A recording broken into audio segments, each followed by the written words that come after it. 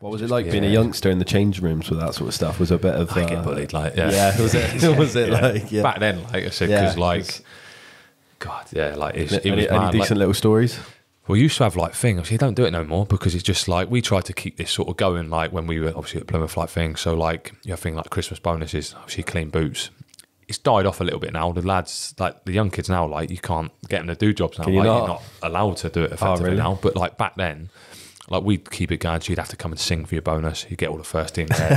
get them up in front of you, make them awkward. Like, but it's just a bit of a learning thing. We only ever did it like that. But our one, like when I was in the youth team, like they would do, you do their boots every year. If they weren't done properly, like the pros would throw them out or thing, you'd be doing them again. Like, like Really? made sure, yeah, you took pride in it because obviously the first team and that, and like, uh, yeah, for our Christmas bonus, it was like it was it was different. So like, you would obviously they pay you out, and you'd have a little bit of a meal at Christmas or whatever, and um, yeah, our one we had to do. Uh, one of them was like not a naked nativity play, but it was in your pants.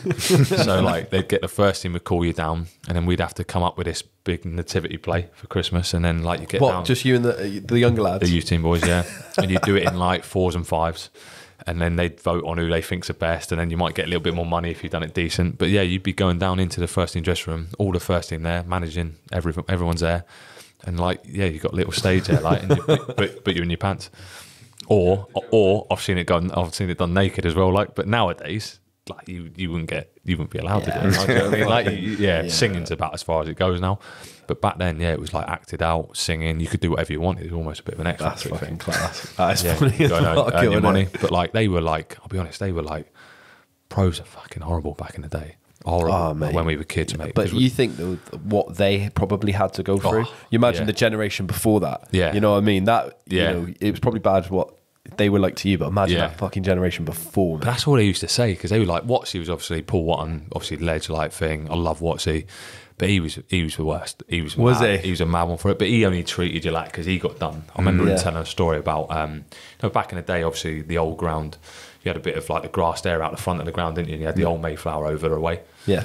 and there used to be a fair on there, didn't there? Used Yeah. to be the fair. He, he said like when he was like a youth team boy, you got the big metal skips with all the boots in. Mm. Said pros, butt naked him, like took all his gear off, banged him in the skip, done it up, wheeled it into the middle of the fair, unclipped it, left it there. Then he's had to get out of it naked and bring the skip back. so like what he did to you was way. like was never at that level. But like, yeah, he'd treat you like thing. But I'll be honest, like where the obviously the old change rooms used to be, we used to have to get to the boot room. You'd have to walk in front of the first team boys. But I'd go around the outside. I'd just go out round the front of the ground, come in through the like through the laundry, go get the boots and go out and clean them. Because if you got caught on the wrong day, you get like yeah, you get just get bundled, your clothes get ripped off, you're like fucking cut up. it was, yeah, it's just fucking one of those places, like really difficult place, but like funny at the same time.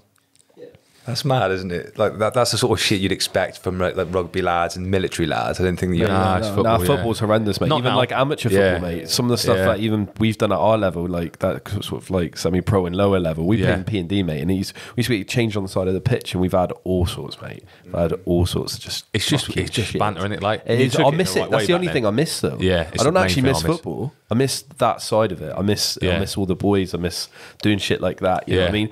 It, it, you can't beat it.